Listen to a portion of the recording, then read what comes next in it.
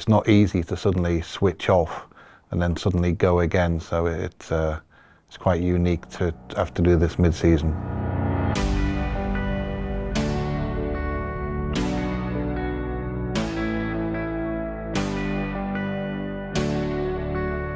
The shutdown is a mandated two-week break that all Formula One teams have to take.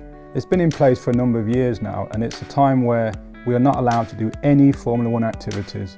In my opinion, it's one of the best rules that has been brought into Formula One.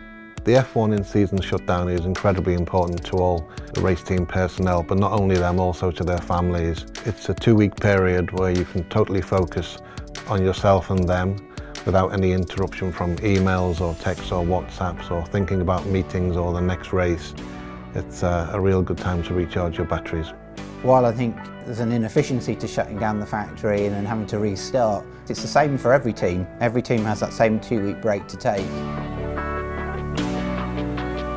We've definitely got better at getting our heads back in the right space, you're so intense and the work is so even through the year that you can just switch off. To actually close the factory for two weeks and allow people to take a proper break is really important.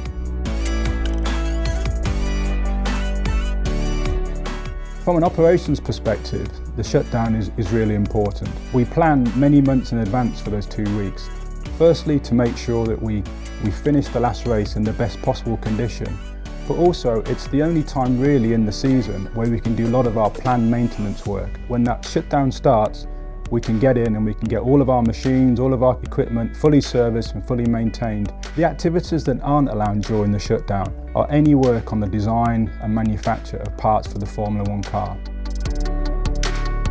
But I think in the sort of sense of trying to be creative, actually taking a break resetting your brain, thinking about other things. Quite often that turns into interesting new ideas you wouldn't have had before. So if something interesting comes to mind, then thinking, okay, maybe I can explore that mentally. For a lot of us, it's sort of a part of your way of life. You, you're constantly thinking about motor racing, whether you're at the circuit or whether you're at home.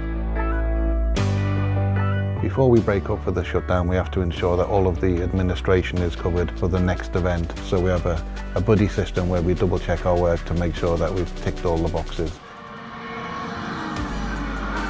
There's an old adage that you don't have to be perfect in Formula One, you just have to be better than your competitors.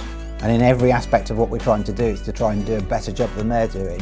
And so whatever you're doing, you're taking that challenge on. And you know, we're generally aiming to try and find about a tenth of a second per race. And a race is roughly every two weeks. So it's that sort of amount of performance development that you're not getting due to the shutdown. But it's the same for everybody. Some of the components we put on the car, maybe say a front wing that might take you know, six to eight weeks to develop. There's two weeks of that time that you've gone missing, so you've got to add that to your sort of development timeline of bringing stuff to the track. Preparation is key because we, we race in Spa just before the shutdown. So when we get back from the shutdown, we're straight into another race weekend in Holland. So we only have a couple of days when we return to get the cars built and shipped out to Holland ready for that race. Making sure we're prepared for these two scenarios is going to be critical for the tail end of the season to come. Even picking the times of the shutdown, because there is some times when we can choose when to stop and when we start again 14 days later, is planned in great detail so that as soon as the clock ticks over to the end of the shutdown, we have people here, they know what they do, and they're straight into the preparation for the next race event. During this 2023 season, we basically had a second shutdown because of the Chinese Grand Prix was cancelled. We were still allowed to work in the office, but at least it gave us some time to recharge our batteries.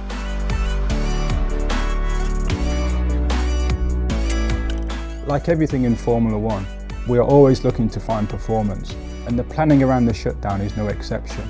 Finishing the race in Spa, making sure we get the cars back here is meticulously planned to make sure we have everything in just the right place.